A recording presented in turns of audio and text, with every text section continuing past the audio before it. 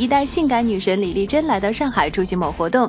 此前有香港媒体爆料，情路一直曲折又离奇的李丽珍决定年底再嫁，与老情人潘良元复合。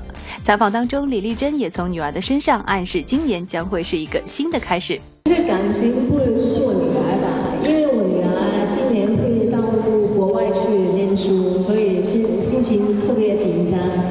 然后好像是是一个新的开始，就是我女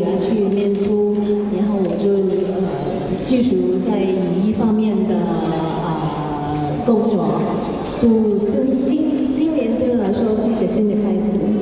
已近知天命的年纪，李丽珍为了以最佳的状态举行婚礼，心急的她也是病急乱投医。之前就曾用药过猛而导致脸部僵硬，几乎变形。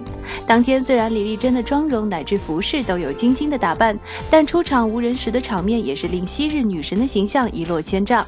不过面对镜头，李丽珍也是大方承认自己确实尝试过多次的微整形。其实我有打过瘦脸，我已经很多次跟他们讲过了。啊，还有那个呃，微波拉皮那种很一般的，很十几年前已经有这种东西，就是很一般的，没有什么特别。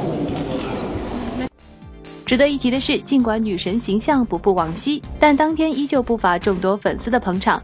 其中一位疯狂男粉丝不仅几度索要签名合影，更与前来维持秩序的保安大打出手，血溅当场，最后更是趁机施暴逃离了现场。